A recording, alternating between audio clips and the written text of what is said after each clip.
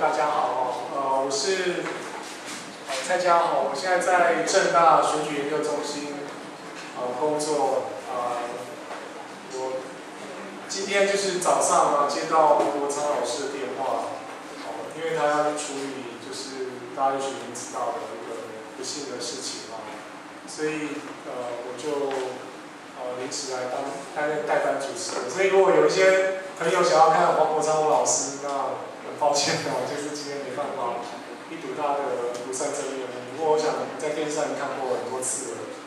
那我想我们今天呃这个呃邀请到呃社会系的林国斌老师来谈参与式预算。那事实上我刚刚呃在会前跟呃国斌老师讨论说，呃他今天的那个呃讲演的内容跟之前我不不一样的地方哈。那他提到有一些东西跟各位就是年轻的那个世代、年轻的族群呢更有关系这种参与方式。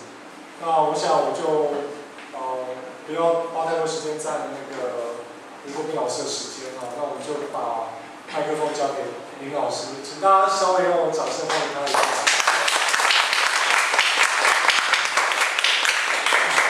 好，那个谢谢蔡老师哈，这个临危受命来帮忙主持，呃，这场这个演讲哈。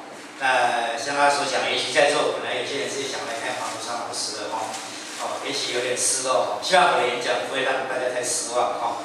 我觉得这个来这场演讲是值得的哈。好，那呃，今天要谈的是参与式预算哦，它在国际上的一些实践的经验哦。那为了要那个避免跟前几场演讲的这个内容有点重复哦，那我会选择哎 focus 在跟以前所讲过的比较不一样的这个地方。但是我假定在座还是有一些人是第一次啊来参与这个演讲的系列活动，可能有些人他可能还不是很清楚什么叫做是什么叫做参与式的预算所以我一开始的时候还是。跟大家来介绍一下什么叫做参与式的预算。我先做一个简单的定义哈。所谓参与式的预算是由人民来决定部分的公共预算支出的优先顺序啊。然后我们的民众或者说我们社区所有团体一些代表，他们共同来讨论我们支出的优先顺序是什么，那提出计划，而且投票来决定。那在这个简短的定义里面，有一些字我用底线把它画出来，啊，那这要特别强调一下啊，呃，第一个是由人民来决定，因为一般我们讲说预算，预算，预算由政府部门编列嘛，对不对？然后议会来通过，你说我们用代议民主的方式选举出我们的政府的首长，选举我们的民意代表，他来帮我们决定。我们纳税人所交的钱要怎么样子花？但是怎怎么样子花，不见得是我们所希望的一个方式。那我们现在我们要自己来做决定，要让人民来决定纳税人的钱要怎么花。但是我们不是把所有的预算都让人民直接来做决定，只有一部分，哦，只有一部分。所以呃，民意代表就不用太多计划。说哇，所有的市政府的预算，我们都要让民众来做决定，没有，那里面是一部分啊。比如说，诶，巴西比港啊，每个城市，它可能最多也是百分之十五左右的这些预算，是透过这个参与式预算的方式由民众来做决定。那民众来做这个决定的时候呢，啊，如果是全市的范围的话，他可能没有办法让我们每个民众都来参加做这个决。对？所以他有时候他还是会选取代表，啊，有些代表他一起来，来来来做决定。但这个代表跟我们议员不一样，你说他们有什么差别呢？我们不是选议员呐，议员帮我们做决定，跟你选代表去帮我们做决定有什么不一样？有个不一样，因为呢，我们要花什么，花在哪里？这个是我们民众我们先讨论，那代表他表达，帮我们去表达他的意见。当然，他要把我们的想法凝聚成为预算可以执行的那个项目，但是他要跟我们讨论跟沟通，确实，哎，大家有一些想法，比如说我们要建脚踏车道啦，哦，我们希望有更多的这个篮球场让青年们啊，他可以这个呃运动啦，哦，这些想法都很好。那我们现在有几个这个预算是这样子编的，大家觉得好不好？代表会跟民众一起讨，民众也会提出他们的想法。哦，议员他预算怎么审查？说他有没有来问我们的意见？没有啊。哦，但是这个代表他会来跟民众做沟通。哦，那我们就用讨论，讨论出我们支出的优先顺序到底是什么。而且这个计划，不这么问计划是这么问提出来的嘛？对不对？他可能胡乱编列啊。哦，可能跟民众需求不一样啊。但在参与式预算里面，我们到底要把钱花在哪里？这个计划呢，是由民众、人民所提出来的。我们提出来，我们来讨论，我们要画成可位置可以执行的这个方案。然后呢，我们来投票决定。可能有好多好多个方案，哪一个方案是我们最想要的？我们用投票的方式来做决定。好，这个大概就是参与式预算的基本的这个精神。那我今天要来谈，好，那如果在依照我们这样了解它的话，它是基础上的民主的理念，跟我们所熟悉的代议民主的方式，我们选议员、选行政首长来帮我们决定纳税人的钱怎么花，这样子的民主程序有什么不一样？精神上有什么不一样？第一个我要讲的东西，第二那要怎么操作？有哪些不同的形式？在国际上有哪一些经验我们可以借鉴？好，那所以我就。着重在这两点来讲。好，首先我们要讲参与式预算呢，它跟审议式民主的这个概念呢，它有非常紧密的联系。那各位可能也在很多的场合里面听过什么叫做审议式民主，好，所以呢，我还是先做一个简单的定义啊。审议式民主有些基本的想法，所有受到决策所影响的。呃，民众他应该要有权利来影响这个决策。预算当然会影响到我啊，对不对？是我们纳税人交的钱啊，怎么花？当然跟我利益有关系啊。啊，那我可不可以不不讲？民意代表之手，我也来参与这种决定。但我在参与做这个决定的时候，我要能够去理解这些。不同的预算的方案，它的优先顺序，它的优劣得失是什么？我要能够去讨论、去理解，它所可能带来的后果。好，那这样的实际民主呢？第一个，它叫它就是民主的这个面向，就是我要能够参与决定；审议的面向呢，我要能够理解去讨论。那它跟我们一般所理解的民主程序。有些不一样的一些地方。第一个，它是直接民主，而不是透过我们群体所产生的民代表跟政府官员来帮我们做决定。再来，决定的形成过程不是只有投票，不是只有投票，它要经过一个讨论的过程。这个过程可以让民众能够去理解这个政策它的影响是什么，对我们自己、对其他人、对我们整个社区。它所带来的影响到底是什么？他，的基本想法是什么？所以大家就可以了解我刚刚所介绍的史密斯预算的基本的精神，就是跟这个实力民主的直接民主跟沟通讨论，啊，有非常紧密的联系。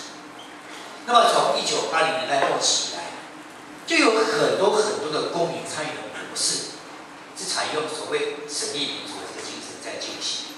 啊，像台湾办过很多次公民会议啊等等，啊，也许各位有听过。那这些公民参与有哪些特质呢？他要处理两个基本的问题。第一个问题呢是谁来审议？虽然我们讲说受到政策所影响，民众应该要有机会来影响这个政策，可是呢，我们人这么的多，我们大概没有办法让每个民众都来参加讨论。所以刚才公民会，它以前只有二十个人，前所办过的人数很有限，二十个人，那他们怎么样是能够来为民众发声？我们当然希望那个背景，参与者的背景它是比较多元的、有历史性的，能够包容各种不同的这个观点，所以我们就要有一些程序来决定怎么样子来招募民众来参加。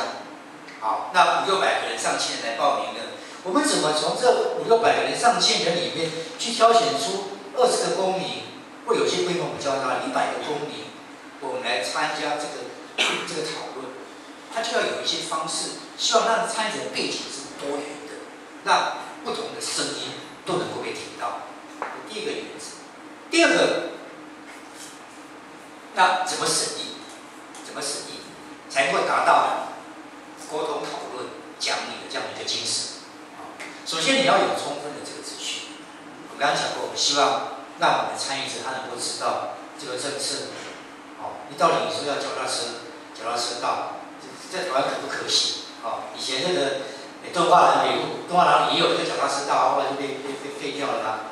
哦，那我们把把目前很多道路，是脚踏车跟人行道合在一起，这种方式好不好？等等，我们要有不同的这个方案的这个评估，我们要有充分才能够理解钱花在哪些地方是必要的，是民众所需求，而且是可行的。好，那通常这些指定式的公民参与，他会提供一些资讯，比如说他可能呢会有一些阅读的资料，简单易懂的一些资料，他可能会有影片来介绍，那有时候可以搭配一些专家的这个演讲，让我们对这个政策的背景，对他的优劣得失，我们有些清楚。第二个，他必须要有对话跟讨论的这个空间。啊，我们可能会看到某些公听会，对不对？公听会他邀请这个不同的社会团体去参加，但是社会团体他可能就是各言而志，讲一讲，啊，有时候我们放放炮，啊，然后可能就走了，彼此之间可能也没有对话跟沟通，好，那但是在这个实际的参与里面，我们要让每个参与者他彼此能够沟通、对话、聆听，不是讲自己的意见而已，我们也要去聆听别人的这个意见，去反省自己原先所抱持的想法是不是站得住脚。啊，那这里就可能需要一些主持人的这个协助，要仔细的去设定一个议题，啊，经由主持人的引导，所以我们让大家都能够对话。再来，他必须要能够形成这个结论。呃，马英九的政府啊，某些政府单位听说很喜欢办公民咖啡馆。为什么喜欢办公民咖啡馆？因为那公民们不必形成结论，结论让政府部门自己去做，那当然喜欢啦，对不对？他可以自己去诠释公民的想法是什么。啊，公听会，啊，那可能他也不会做结论，啊。我们收集民众意见嘛，收集这个一些意见，因为结论政府自己去做。但是在这个肯定是公民参与里面，我们会透过某些形式来形成我们对这个议题我们的意见到底是什么。有时候呢，我们会有书面的共识报告，啊，像公民会它就有一个蛮长篇的报告来阐述我们对这个议题，对要不要废除死刑、性交易要不要除罪化的这个议题。会表达一种的立场、共识性的一个观点。有时候呢，我们可能会透过某种或意见调查的方式。好，我们有好几个选项，支持 A 选项的有多少人，支持 B 选项的有多少人。我们会透过意见调查的方式。总而言之呢，它会有某种形式来把我们讨论以后大家的意见的分布状态，啊，或我们集体共识什么，把它呈现出来。这是。一般的实际是公民参与，它所具有的这个特质。那我们讲说参与式预算，它有什么特点？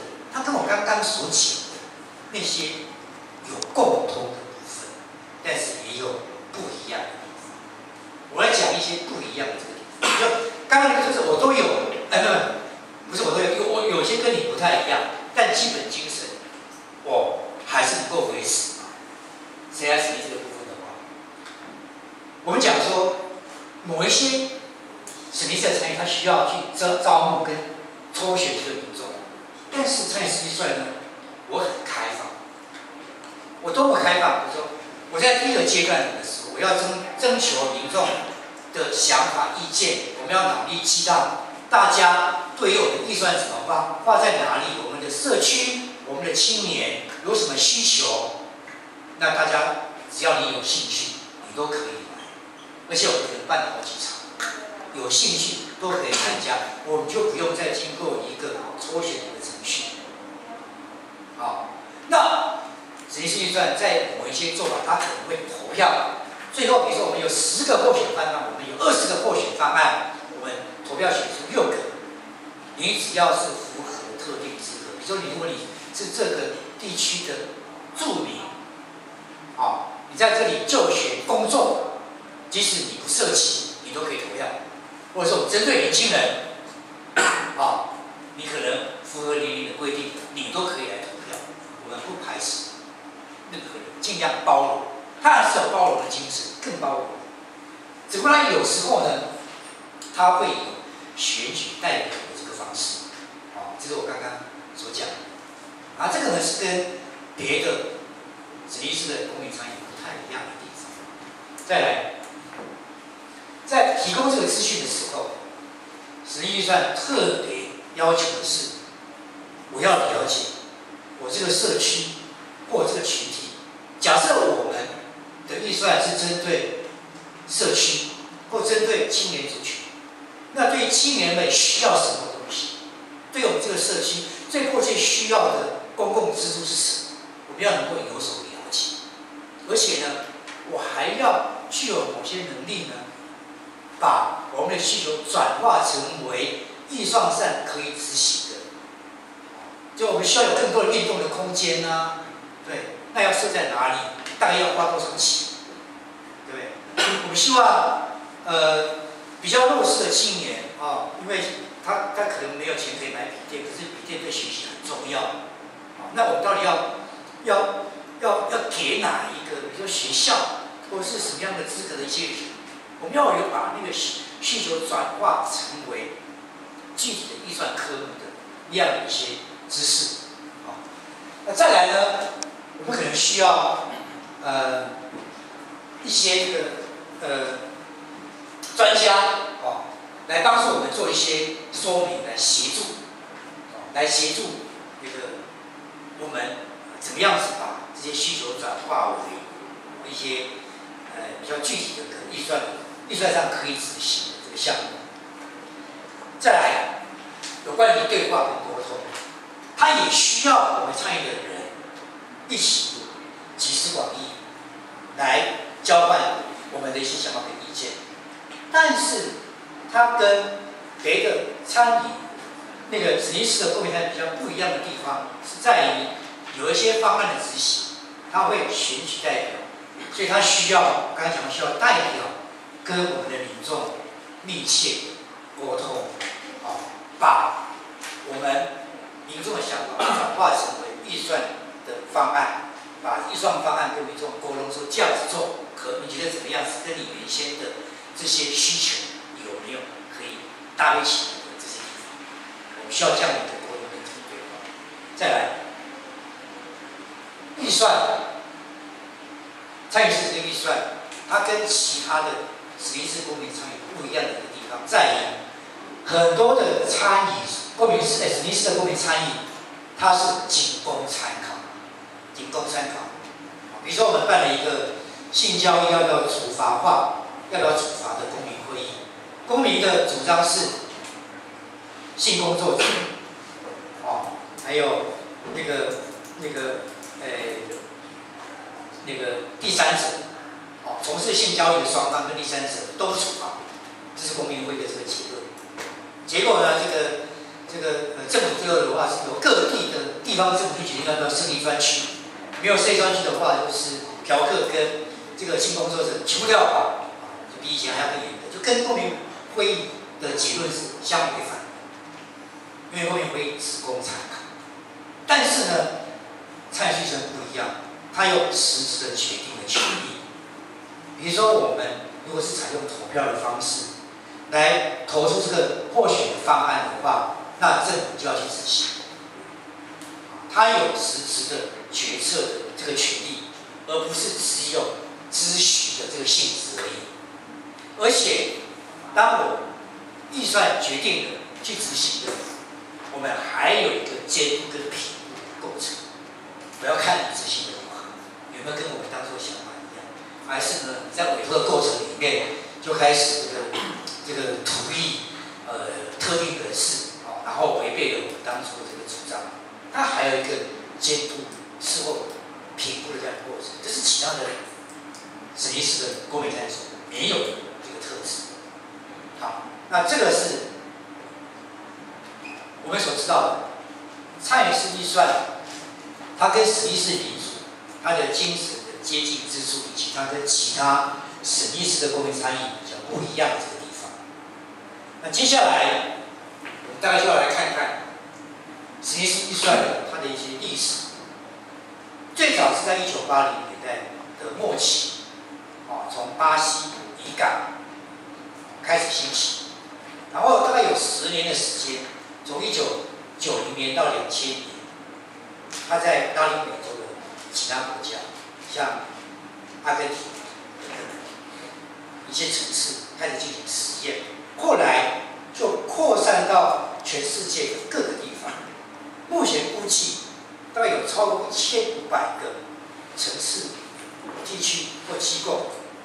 这个机构包括有些学校，学校里面不是怎么包，也不是学生会来做决定，他在学校里面也可能用参与式预算的方式，让学生来共同参与决定，学生会啊要怎么去执行这个预算，有一千五百个。我们看一下，大家看一下分布的这个状况。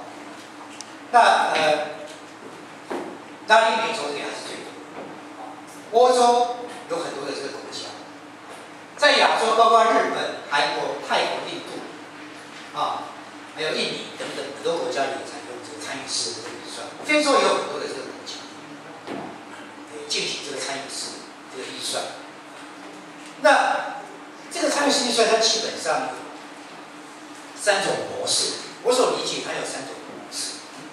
一种模式呢，就是巴西渔港的那样的方式，比如说我框出一部分啊，比如百分之十五的啊这些预算，然后全市的各个区都来参加，啊来分配这十百分之十五，所以全市可能有十几个这个区，每个区就经过一个讨论的一个过程，选派代表来决定这百分之十五的市政预算要花在哪里。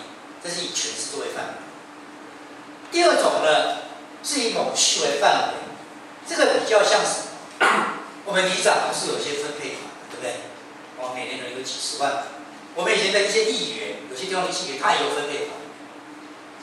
美国也是一样，美国像芝加哥、像纽约是，他们是也也有一笔分配款。啊，那芝加哥可能一百多万美元。纽约它可能三百万，以前的话就是这个可能就拿来做打桩的，对不对？啊，但是呢，芝加哥跟纽约，他们就可能采取好，我们让这个地区的民众来决定，我这个一百万、三百万的分配款，我要花在哪？所以是这个区，我这个议员所负责这个区，我们来决定，那可能他就不是以全市为范围，对不对？第三种呢是波士顿的模式，就是说我是以全市为范围，可是我是针对特定群体，比如今年一月到七月，他们所进行一个青年预算，针对青年，我编列了一百万美元的这些预算，那让青年们来决定我要把这个钱花在哪些地方，全市为范围呢是是针对。特定群体，这是第三种模式。第一种模式呢，在几个礼拜前，中山大学的万义哲教授有讲过，对不对？在座的也许有人有听过，没有听过的话，好像演讲也有上线，哦，大家可以线上去观看。所以我今天就不再去谈这个部分，我只用一张投影片简单介绍一下。我的重点呢，会花在第二跟第三个部分，来跟各位介绍啊那个芝加哥市跟纽约市他们的那种呃是那个参与式预算的操作的情形。我也要介绍在波士顿市青年预算操作情形。特别呢，我会花比较多的时间来谈有关波士顿，因为呢，我觉得这个在台湾是比较可行的方式。